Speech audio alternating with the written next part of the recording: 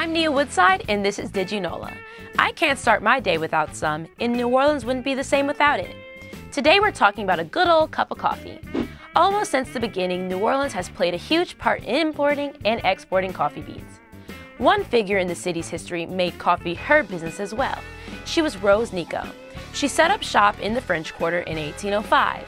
She bought her freedom with her earnings by selling coffee to those leaving St. Louis Cathedral on Sundays. Two of the city's most famous coffee places opened in the French market in the late 19th century.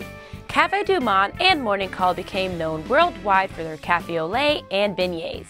Cafe Du Monde is still there and in many other locations, while Morning Call moved to a new location on Canal Boulevard and City Park Avenue.